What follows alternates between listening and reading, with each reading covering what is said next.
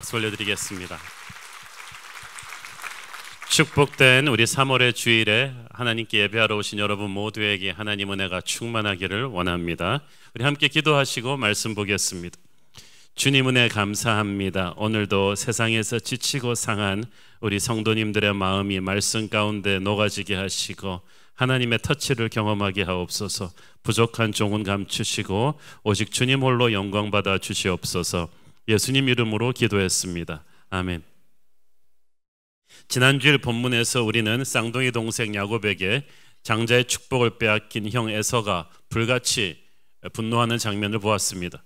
에서는 아버지만 돌아가시면 이 못된 이 교활한 동생 야곱을 죽여버리겠다고 이를 갑니다. 큰 아들의 무서운 성정으로 잘 알고 있던 엄마 리브가는 이야기를 엿듣고 큰일 났다고 생각했습니다. 그래서 빨리 이 야곱을 재촉해서 자신의 친정이 있는 모나먼 하란 땅으로 피신시킵니다. 이때 야곱의 나이가 벌써 70이 넘었으니까 장거리 여행이 쉽진 않았을 것이지만 살아야겠다는 일념으로 야곱은 그날 밤으로 도망자가 되어서 집을 떠납니다. 그렇게 집을 떠났는데 이 10절에 나오는 이 부엘세바에서 야곱의 집이 있던 부엘세바에서 하란까지가 800km 정도 되는 큰 먼 거리입니다. 가다가 한 곳에 머물렀을 때 해가 졌다고 했는데 19절에서 이 한 곳이 루스라는 곳으로 밝혀지죠. 부엘세바에서 루스까지만 해도 85km 정도 됩니다. 그러니까 하루에 온 거리는 아니고요. 한 며칠 걸려서 달려온 것 같습니다. 코에 단내가 나도록 형 에서의 추격을 피해서 달려왔으니까 굉장히 심신이 피곤했을 것입니다. 여기서 야곱이 유숙을 하는데 히브리어로 유숙은 여기서 쓰는 유숙이란 단어는 나그네가 그냥 길에 턱 엎어져서 자기 겉옷으로 몸을 덮고 밤을 지새우는 것을 가리킵니다. 보통 나그네들이 이렇게 잘하지 않습니다. 왜냐하면 유다 광야의 밤이 엄청나게 춥습니다. 때로는 그 영도 밑으로 영하권으로 떨어질 정도로 추운 데다가 유다 광야가 무서운 독충과 야생 동물이 그리고 강도가 수시로 출몰하는 곳이기 때문에 어지간하면 나그네들은 어떤 마을을 찾아서 여관에 들어가서 묵지 이렇게 밖에서 자지 않습니다. 하지만 야곱은 너무 피곤해서 그랬는지 아니면 에서의 추격대 눈을 피하려고 그랬는지 모르지만 성읍에 들어가지 않고 광야 한복판에서 그냥 퍽 쓰러져서 잠을 청합니다. 야곱이 성경에 보니까 돌베개를 베고 잠들었다고 했죠. 그 말 한마디로 그의 지금 인생이 너무나 고달프다는 것을 알 수 있습니다. 야곱은 이때까지 돌베개는커녕 나무 베개도 배워본 적이 없습니다. 70평생을 그는 부잣집의 엄마 사랑받는 도련님으로 70인데 도련님으로 살아왔어. 최고급 외제베개만 베고 푹신한 이불에 자던 야곱이 처음으로 집을 떠나 거친 들판에서 돌베개를 베고 잠들어야만 했습니다. 우리가 알다시피 돌은 발로 차는 거고 깔고 앉을 때 쓰는 것이 귀한 얼굴을 대고 자는 베개가 아닙니다. 돌베개라도 배워야 했다는 것은 그만큼 야곱이 지금 인생이 공고하다는 거예요. 처량하다는 거예요. 형은 언제 쫓아와서 자기 죽일 줄 모르고 또 삼촌의 집은 한 번도 가본 적이 없는 먼 타양이고 뒤가 불안하고 앞날도 두렵고 몸과 마음이 피곤하고 돌베개는 야곱의 이 모든 어, 곤고한 인생을 상징합니다. 외로움이 뼛속같이 스며들었을 것이고 한없이 서글펐을 것입니다. 사랑받으며 지금까지 편하게 살아왔던 야곱은 자기의 처지가 하루아침에 이렇게 불쌍해질 줄은 꿈에도 몰랐을 것입니다. 그런데 우리 인생에 이렇게 몸과 마음이 가난해질 때 참 희한하게 그때 우리는 하나님을 만납니다. 돈도 잃고 명예도 잃고 건강도 잃고 직장도 잃고 주변의 사람들도 다 떠나고 아무것도 내게 남은 것이 없을 때 주님 한 분만이 내 곁에 남습니다. 그리고 거기서 야곱이 모든 걸 잃고 잠이 들게 되는데 그때 하나님의 환상을 처음으로 보게 됩니다. 여기서 우리가 중요한 거는요. 일단 꿈을 꾸려면 잠이 들어야 된다는 사실이 우리가 걱정하고 뭐 회의하고 쫓아다닐 때는 아무 일도 일어나지 않아요. 여러분이 하나님의 꿈을 꾸고 싶으면 자야 돼요. 잠은 안식을 의미합니다. 우리가 하나님의 품 안에서 안식하기 시작할 때 하나님께서 일하시기 시작합니다. 야곱은 자기가 설칠 때는 하나님의 꿈을 보지 못했는데 이제 잠이 들고 안식하는 그 순간부터 자기 인생의 후반전의 축복을 보여주는 하나님의 환상을 볼 수 있었어요. 하나님이 우리에게 약속하신 그 축복을 세상 그 어떤 것도 막을 수 없습니다. 막을 수 있는 것은 우리의 조급함 뿐이에요. 야곱은 하나님이 약속하신 축복을 기다리지 못하고 자기가 나섰어요. 단팥죽으로 형 속이고 양토롯으로 아버지 속이고 자기 힘으로 꿈을 이루려고 몸부림쳤을 때 야곱은 더 많은 문제를 야기하고 말았습니다. 이제 야곱은 자기 힘으로 몸부림치던 인생에 지쳐서 쓰러져 잠이 들었는데 그때부터 하나님께서 역사하셨습니다. 여러분은 우리는 하나님을 신뢰하며 잠드는 법을 배워야만 합니다. 그러면 하나님께서 하나님의 방법으로 약속을 이루시는 것을 우리가 체험하게 될 것입니다. 예수께서 말씀하시기를 수고하고 무거운 짐진 자들아 다 내게로 오라 내가 너희를 쉬게 하리라고 하셨어요. 주님은 사랑하는 자에게 잠을 주십니다. 안식은 단순한 휴식이 아닙니다. 안식은 하나님이 내 인생을 책임지신다는 그 하나님에게 나를 온전히 맡긴다는 믿음의 선포입니다. 그래서 영적인 전쟁에서 안식은 하나님의 자녀의 손에 쥐어준 놀라운 영적인 무기인 거예요. 우리가 안식할 때 우리는 우리 힘으로 싸우겠다는 조급함을 버리는 것입니다. 그래서 그때부터 마귀가 물러가기 시작합니다.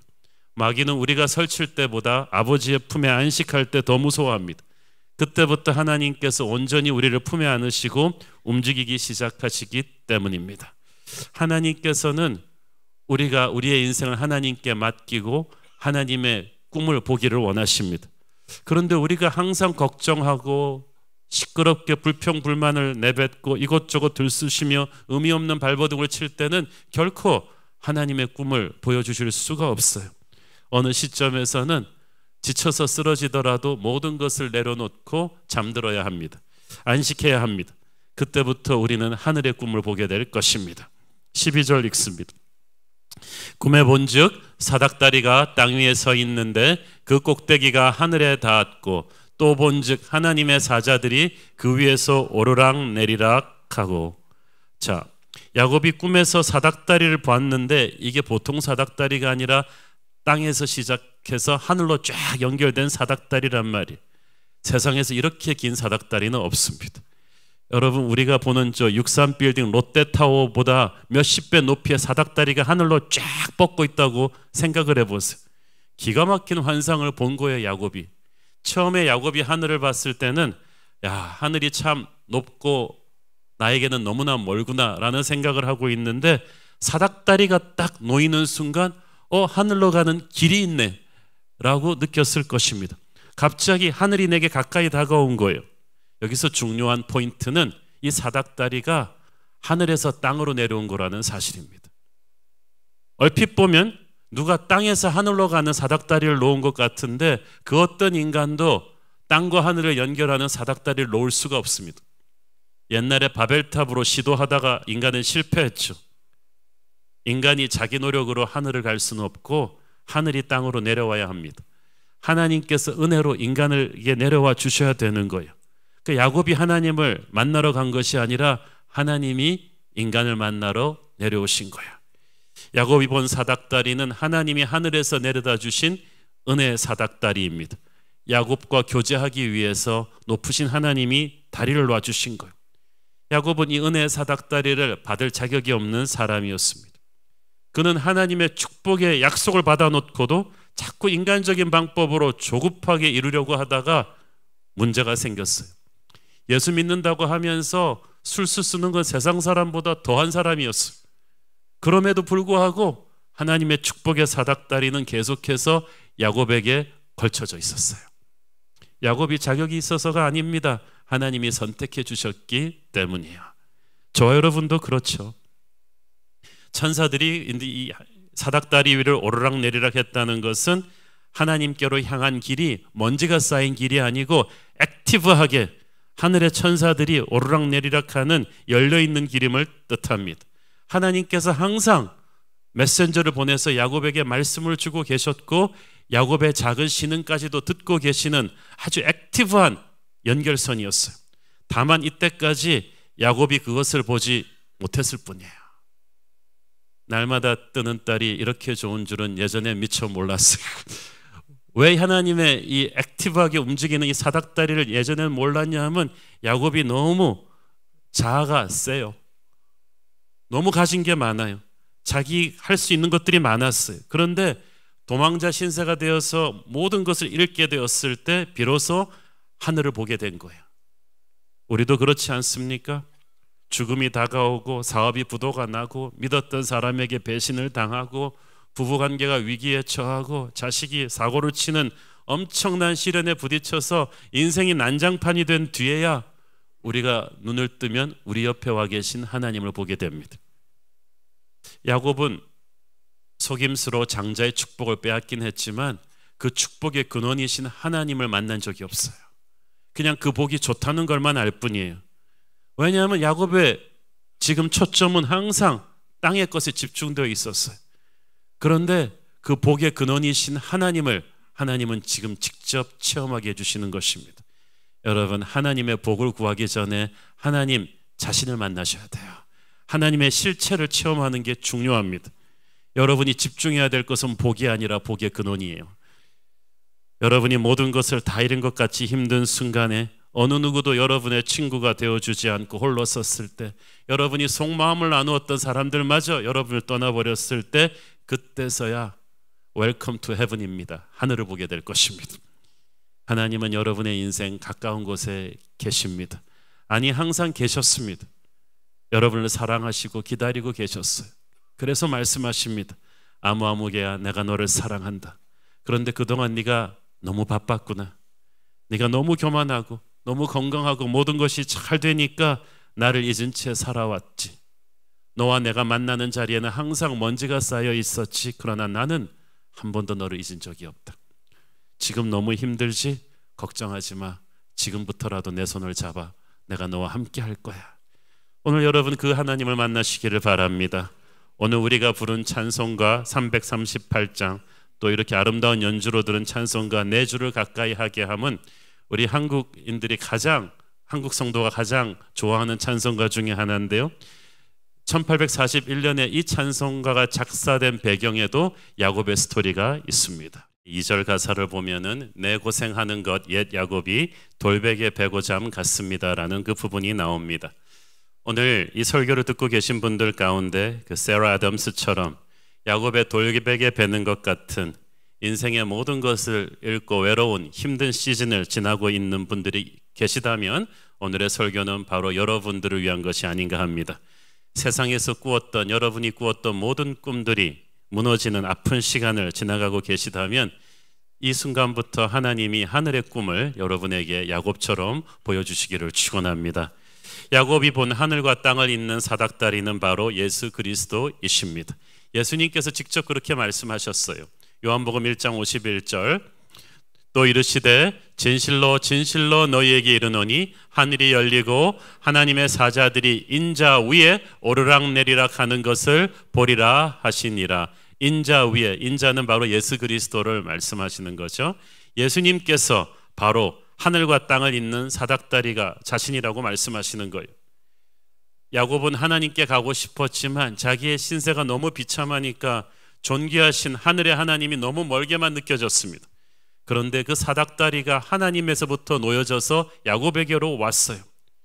죄 많고 연약한 우리가 하나님을 보면 멀리 느껴지는데 하나님이 우리에게 쑥 가까이 다가오십니다. 그분이 바로 예수 그리스도이십니다. 누구든지 예수의 이름을 부르는 자는 하늘의 문을 열 것입니다. 하늘의 문이 열리는 순간 그에게 소망이 시작될 것입니다. 요한복음 14장 6절 말씀. 예수께서 이르시되 내가 곧 길이요 진리요 생명이니 나로 말미암지 않고는 아버지께로 올 자가 없느니라 하늘로 연결하는 유일한 사닥다리는 바로 예수 그리스도이십니다. 구약 성경 곳곳에 예수님을 예표하는 메시지가 있는데 야곱은 자기는 전혀 몰랐지만 구약 사람이 장차 오실 인류의 구세주 예수 그리스도를 본 거예요. 12절 13절에 야곱이 보았다는 말이 세 번 연거푸 스트레이트로 나옵니다. 야곱은 하늘과 땅을 연결하는 사닥다리를 보았고 하나님의 사자들이 그 위에서 오르락내리락 하는 것을 보았고 여호와께서 그 위에 서신 것을 보았어요. 지금 본다는 것은 야곱이 노력해서 본 게 아니라 보여진 거예요. 계시는 우리가 노력해서 보는 게 아니라 하나님이 드러내 보여 주시는 거예요. 여기서 보는 것은 완전히 수동체입니다. 야곱은 이때까지 자기가 항상 뭔가를 해야 되는 사람이었어요. 자기가 속이고 자기가 난리치지 않으면은 안 됐어요. 그래서 무리수를 두다가 항상 사태를 악화시켜 왔는데 지금 여기서 야곱은 아무것도 못 하고 있어. 지치고 힘이 빠져서 아무것도 못 하고 그냥 멍하니 하늘만 보고 있는데 이게 중요한 거예요. 우리에게 있어서 가장 중요한 것은 우리 힘으로 뭔가를 하는 게 아니라 하늘을 보는 것입니다. 죽어라고 하늘을 보는 거예요. 내 생명을 걸고 인생을 걸고 하늘을 보는 거예요. 그게 기도입니다. 그게 예배입니다. 여러분, 영의 눈을 들어 하늘을 보십시오. 땅에는 소망이 없기 때문에 인생을 걸고 하늘을 보시면 그때부터 여러분의 인생의 후반전을 새롭게 하실 하나님의 비전이 보일 것입니다. 하나님께서 환상으로 야곱에게 오시더니 이제는 야곱에게 말씀하시기 시작합니다. 13절, 14절 읽습니다. 또 본즉 여호와께서 그 위에 서서 이르시되 나는 여호와니 너의 조부 아브라함의 하나님이요 이삭의 하나님이라 네가 누워 있는 땅을 내가 너와 네 자손에게 주리니 네 자손이 땅에 티끌같이 되어 네가 서쪽과 동쪽과 북쪽과 남쪽으로 퍼져 나갈지며 땅의 모든 족속이 너와 네 자손으로 말미암아 복을 받으리라. 하나님이 먼저 하나님이 누구이고 야곱이 누구인지를 야곱에게 알려 주셨어요. 나는 여호와니 너의 조부 아브라함의 하나님이요 야곱의 하나님이다. 그 말은 무슨 말이에요? 야곱아, 너 나와 상관없는 존재가 아니야. 나는 너와 상관 있는 존재야. 우리가 몰라서 그렇지 우리가 태어나기 전부터 우리의 과거 속에 하나님은 늘 계셨던 분입니다. 우리의 역사가 하나하나 다 그분의 가슴에 입력되어 있습니다. 야곱의 할아버지와 아버지인 아브라함과 이삭을 언급하신 까닭이 무엇입니까? 너의 조상들이 어려움 속에 나를 신뢰해서 축복을 받았듯이 너도 이제 약속을 믿고 축복을 받게 될 것이란 뜻이에요. 야곱이 충격을 받았습니다. 이제까지 그는 부모님을 통해서 하나님의 이야기를 들었고 할아버지 아브라함의 이야기를 들었는데 이제는 자기가 직접 하나님을 만났어요. 간접 계시와 직통 계시의 차이는 하늘과 땅 차이입니다. 호랑이에 대해서 듣는 거하고 직접 호랑이랑 마주치는 건 하늘과 땅 차이죠. 하나님께서는 야곱에게 말씀하셨어요. 너는 아브라함과 이삭을 통해서 흐르는 이 믿음의 계보의 후계자야. 너는 믿음의 명예의 전당이 흐르고 있는 약속의 자손이야. 이제 너도 이 놀라운 스토리의 주인공이 될 거야. 여러분, 하나님은 다른 사람의 하나님이 아니라 바로 우리의 하나님을 믿으십니까? 그것이 체험으로 확인될 때 얼마나 감격스러운지 모릅니다. 아브라함과 야곱에게 일어났던 그 놀라운 기적의 역사들이 이제 그 하나님을 믿는 저와 여러분의 후반전에서도 인생 후반전에서도 펼쳐지게 될 것입니다. 우리는 그것을 믿는 것입니다. 하나님이 말씀하십니다. 네가 누워 있는 땅을 너와 네 자손에게 주겠다. 이 말씀이 없었으면 야곱은 그냥 노숙자예요. 그런데 누워 있는 그 땅이 그 사람 거면 이 사람은 노숙자 아니에요. 엄청난 사람이. 아브라함과 이삭에게 약속하셨던 가나안 땅 전체가 네 것이 될 것이다. 형을 두 번이나 속이고 도망친 야곱을 하나님이 야단치지 않으십니다. 대신 위로하시고 믿음의 가문이 누리는 엄청난 복을 너에게도 주겠다고 하십니다. 너는 이 축복의 자손이니까 기죽지 말라고 하세요. 너의 미래는 내가 보장한다고 하십니다. 자, 여기서 중요한 것은 하나님이 야곱에게 하시는 말씀은 100% 미래지향적입니다. 그런데 야곱은 어때요? 잠들기 전까지 야곱의 생각은 온통 과거에 매여 있었습니다. 아버지 이삭을 속인 죄책감, 자기를 죽이려고 쫓아오는 형 에서에 대한 두려움과 열등감, 자기 때문에 울고 있을 어머니에 대한 그리움, 전부 다 이 과거의 아픔들이 계속해서 야곱의 마음에 맴돌고 있어. 이것이 땅의 사람의 특징입니다. 항상 과거 지향적이에요. 항상 상처가 많고요. 항상 과거의 역사를 갖다 되씹으면서 삽니다. 그런데 놀라운 것은 하나님이 야곱에게 주시는 이 환상이나 말씀 중에는 과거에 대한 언급이 전혀 없어요. 새로운 미래를 보여줄 뿐이에요. 하늘의 사람은 미래를 갑니다. 너무나 많은 사람들이 야곱처럼 과거의 상처로 인해서 현재가 고통스러워요. 그러나 하나님은 말씀하십니다. 이전 것은 지나갔으니 보라 새 것이 되었도다. 이전 것이 없었다는 게 아니라 지나갔다. 이제 내가 너에게 새 것을 열어줄 것이다. 과거가 아무리 고통스러웠다 할지라도 하나님이 이제 그것을 다 덮으시고 여러분의 시선을 축복의 미래로 돌리실 줄로 믿습니다. 하나님을 만난 다음부터 우리의 인생은 더 이상 과거가 아닌 미래의 약속에 의해서 끌려가게 될 것입니다. 과거는 하나님이 정리하십니다. 그 어떤 인간도 과거를 정리할 수가 없습니다. 과거는 하나님이 정리하실 것이니 우리는 하나님의 약속을 믿고 미래로 뛰어가면 되는 것입니다. 오늘 저와 여러분 과거의 상처로부터 자유하는 시간이 되기를 축원합니다. 하나님께서 계속해서 말씀하십니다. 15절 내가 너와 함께 있어 네가 어디로 가든지 너를 지키며 너를 이끌어 이 땅으로 돌아오게 할지라 내가 네게 허락한 것을 다 이루기까지 너를 떠나지 아니하리라 하신지라 아멘. 내가 언제나 너와 함께 하겠다는 이 축복은 아브라함에게도 주지 않았던 축복이 이삭에게도 주지 않았던 축복인데 야곱에 대해 하나님이 얹어 주신 특별한 축복입니다.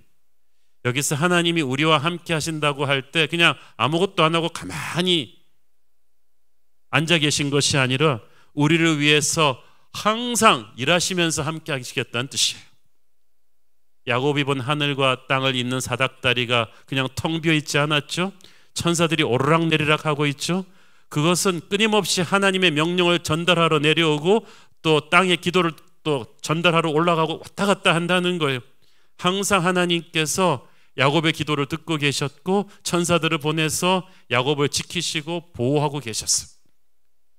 영의 눈을 들어보니까 보이지 않는 영적인 세계에서 하나님이 우리를 돕기 위해 너무나 바쁘게 움직이고 계신 거예요. 너무나 황송한 일이죠. 우리 주님이 우리 인생의 주인이니까 우리가 주님을 섬겨야 될 텐데 실상은 주님이 우리를 너무나 섬겨 주시는 거예요.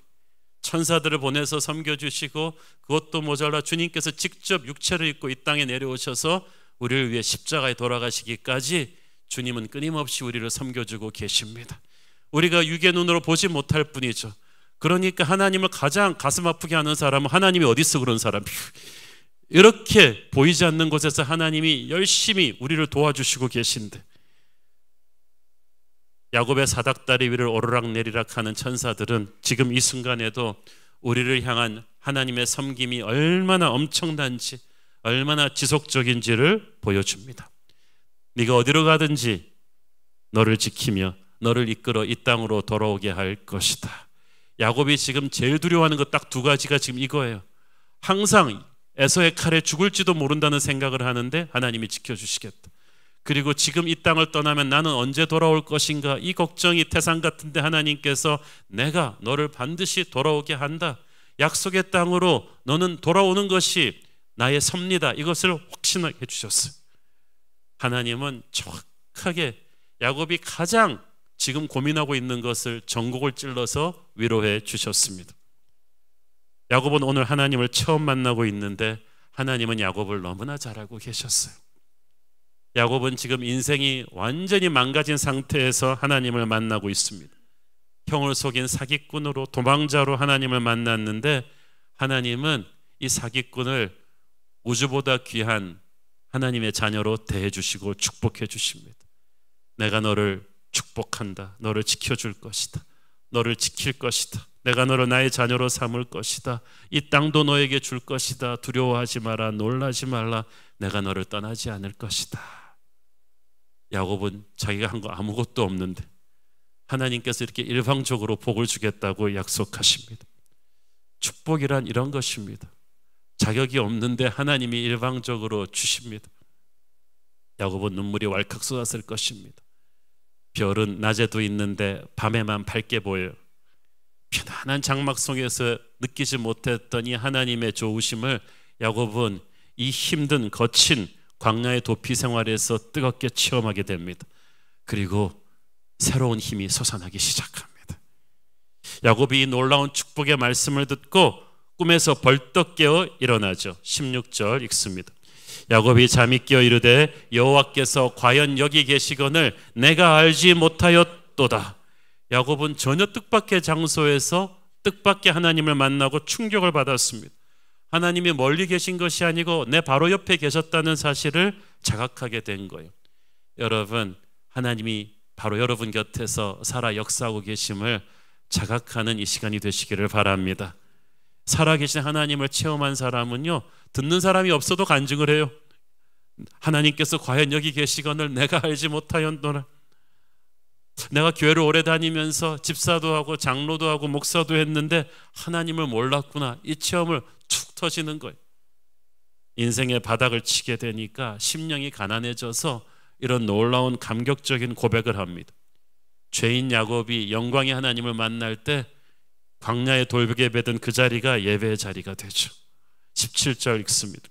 이에 두려워하여 이르되 두렵도다 이것이요 이것은 다름 아닌 하나님의 집이요 이는 하늘의 문이로다 하고 하늘의 문이 여기에 있었다는 거야.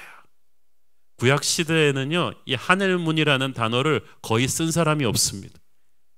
하늘 문이 본격적으로 등장한 것은 예수님이 오실 때부터지 구약 시대에는 하늘 문이 대부분 닫혀 있었어요. 하늘 가는 길도 희미했고 하늘나라를 찾으려고 관심을 쏟는 자도 적었습니다.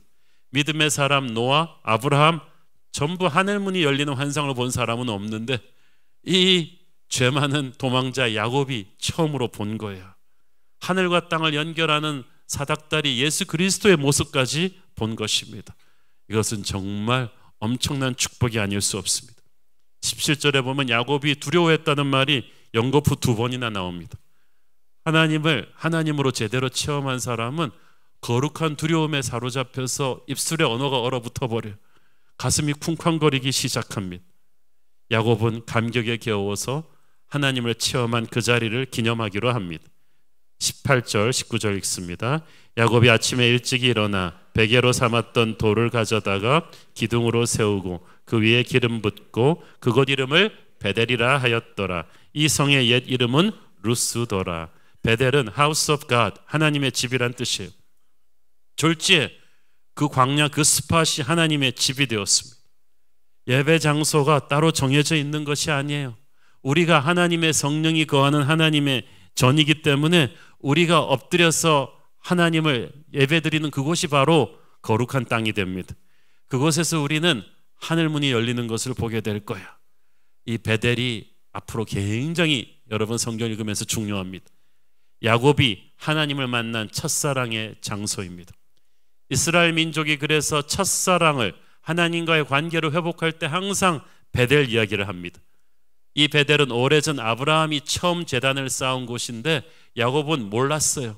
그런데 하나님이 섭리하신 곳이에요. 하나님을 만난 그 경험을 야곱이 흘려보내지 않고 거기서 돌을 쌓았고 영적인 기념비를 세웠습니다. 자기의 평생에 딱 간직할 영적인 좌표로 이 베델을 새긴 거예요. 아무것도 없고 가난하던 그 시절에 돌베개 베든 그 자리에서 하늘의 환상을 본 그곳에서 야곱이 한없이 가난한 마음으로 엎드리던 그곳이 베델이에요. 하나님은 항상 야곱이 앞으로 인생 후반전에 베델의 스피릿으로 살기를 원하셨어요. 야곱이 처음 하나님을 만난 이 베델은 앞으로 야곱의 남은 생애 동안 항상 하나님께로 돌아오는 영적인 고향이 됩니다. 열두 제자에게 항상 갈릴리가 영적인 고향이었던 것처럼 이 베델이 그렇게 야곱에게 소중한 곳이 됩니다. 야곱은 이 베델의 하나님을 기념하면서 소원 기도를 합니다. 소원은 은혜 받은 사람이 하는 거예요. 하나님을 체험한 사람이 시키지 않았는데 툭 하는 거예요. 내가 이렇게 은혜를 받았으니까 이렇게 적용하겠다고 선포하는 것입니다. 자, 여러분, 영적인 환상을 본 것만으로는 중요하지 않아요. 진짜 환상을 제대로 본 사람은 하나님을 체험한 사람은 자기의 삶에서 이제 구체적으로 어떻게 살겠다는 적용이 있어야 돼요. 소원은 쉽게 말해서 적용하는 거예요. 내 삶에서 구체적인 적용을 선포합니다. 20절, 22절 읽습니다. 야곱이 서원하여 이르되 하나님이 나와 함께 계셔서 내가 가는 이 길에서 나를 지키시고 먹을 떡과 입을 옷을 주시어 내가 평안히 아버지 집으로 돌아가게 하시오면 여호와께서 나의 하나님이 되실 것이요 내가 기둥으로 세운 이 돌이 하나님의 집이 될 것이요 하나님께서 내게 주신 모든 것에서 10분의 1을 내가 반드시 하나님께 드리겠나이다 하였더라. 여기서 잘못 이르면 야곱이 조건부 딜을 하는 것 같아요. 하나님이 나를 이렇게 이렇게 잘 해주시면 나도 이렇게 이렇게 하겠다는 조건부적인 하나님과 협상을 했다고 생각할 수가 있는데 결코 본문의 맥락이 그렇지 않습니다. 본문을 제대로 번역하면 이거예요. 하나님이 나와 함께 계시고 나를 지키시고 나를 축복하셔서 아버지의 집으로 반드시 돌아오게 하실 것이니 나는 그 약속을 믿고 나도 이런저런 소원을 합니다. 그 뜻이에요. 그러니까 야곱은 하나님이 만약에 이렇게 해주시면 하는 게 아니라 하나님이 이렇게 해주실 약속의 신실함이 확실하니까 이 약속에 근거해서 나도 이렇게 하나님께 헌신하고 싶습니다. 라고 하늘과 땅을 딱 연결하는 적용을 하는 것입니다. 자, 야곱의 소원이 세 가지죠. 첫째는 평생 하나님만 섬길 것이다. 이거는 우선순위의 문제죠. 내 인생에 다른 우상을 두지 않겠다. 둘째는 지금은 도망자 신세라 이렇게 돌을 대충 쌓아서 이 자리를 기념하지만 돌아오면 정식으로 이곳에 예배처를 세워서 나와 옛 자손이 항상 영적인 기념비 같은 예배 장소를 여기를 만들겠다는 거예요. 이곳은 하늘과 땅을 연결하는 거룩한 포털이 될 것이다. 나는 땅에 살지만 항상 하늘의 하나님과 교제하는 예배자가 되겠다는 헌신이. 셋째는 11조 드리겠다. 이것은 야곱의 이제 물질관이 바뀌는 거예요. 내가 가지는 모든 성공은 하나님이 주신 것이니 이것을 하나님께 온전한 11조로 감사로 선포하겠다는 뜻입니다. 자, 이 세 가지 소원을 보면은 놀랍습니다. 누가 야곱에게 11조 가르쳐 주었나요? 할아버지 아브라함이 최초로 11조 드린 것 뿐인데 그런데 11조 헌신이 툭 나와요. 누가 야곱에게 예배처 세우는 문제 가르쳐 주었나요? 아무도 안 가르쳐 줬어요. 그런데 베델의 하나님을 만난 야곱의 입에서 그런 소원이 툭툭 터져 나왔어요. 여러분이 성령 체험하고 나면요. 평상시 맨정신으로 하지 못할 소원이 나와요. 이게 야곱이 하는 말이 아니에요. 야곱 안에 역사하고 계신 이제 성령께서 그를 주도하시는 거야. 우리가 하나님을 체험하고 나면 앞으로 어떻게 살아야 될지 성령께서 인도하십니다. 이전에는 생각지도 못했던 기특한 생각을 하게 하시고 새벽 기도 하겠다든지 뭐 성령의 말과 행동을 하게 하시는 거예요. 11조를 하고 우상을 섬기지 않고 예배처를 삼는 이 모든 헌신은 성령께서 하나님을 체험한 사람에게 툭 하시는 것입니다. 야곱은 이때까지 지금까지 누워 있던 곳이 지금 황량한 광야였습니다.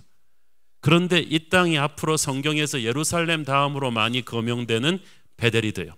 앞으로 구약 성경 찾아보세요. 예루살렘 다음으로 베델 이야기가 이스라엘 자손들의 입술에 계속 나옵니다. 왜 이 베델이 특별합니까? 우리 인생 최악의 순간에 최고의 하나님을 만난 곳이기 때문이에요. 폭포는 꺾이는 각이 심할수록 떨어지는 임팩트가 크죠. 우리의 인생이 가난하고 병들고 힘든 그 최악의 순간에 인생 모든 불이 꺼져버린 그 순간이 우리의 베델의 순간이 될 줄로 믿습니다. 수많은 하나님의 사람들은 베델의 간증이 있어요. 어떤 분은 죽을 병에 걸린 병상이 하나님을 새롭게 만나는 기적의 배들이 되었습니다. 제가 아는 그 성도분은 암 선고를 받고 50대 나이에 6개월 암 선고를 받았는데 그때 하나님을 새롭게 만나고 나서는 날마다 기도하고 찬송하시면서 병동에 저 따라다니면서 다른 암 환자들한테 얼마나 전도를 많이 했던지 수십 명을 그리스도교로 인도하고 하늘나라로 갔어요. 어떤 분은 억울하게 누명을 쓰고 추운 겨울에 감옥에 갇혔습니다. 그렇게 춥던 그 감방에서 성경을 읽고 성령 체험을 했어요.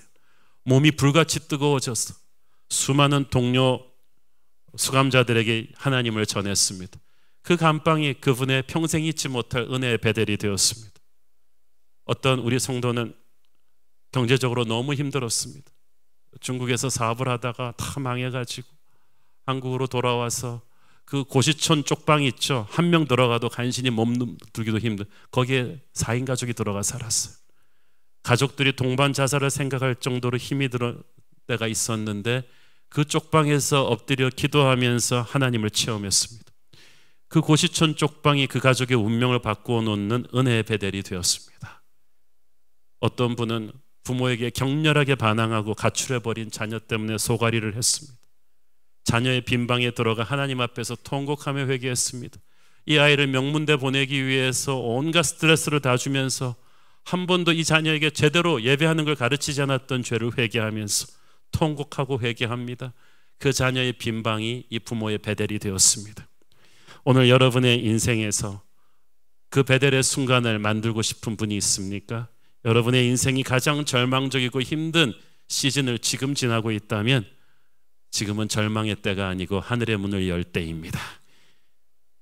하나님의 품 안에서 쓰러지십시오. 예수의 임재 앞에 그분의 이름을 부르며 기도하십시오. 이때 하나님이 하늘 문을 여시고 여러분에게 사닥다리를 놔 주실 것입니다. 그 사닥다리의 이름은 예수 그리스도. 그분이 여러분의 인생 가운데로 오셔서 여러분의 부서진 인생을 고치기 시작할 것입니다. 여러분의 배대를 지금 쌓으십시오. 하나님께서 좌정하고 다스리실 것입니다. 기도하겠습니다. 주님 은혜를 감사합니다. 야곱이 돌베개 베고 자던 그 베델이 하늘의 문을 여는 축복의 예배처가 되었음을 보았습니다. 오늘 우리 인생에도 절망의 순간이 하늘의 문이 열리는 은혜의 베델이 되게 하여 주옵소서. 예수님 이름으로 기도했습니다. 아멘.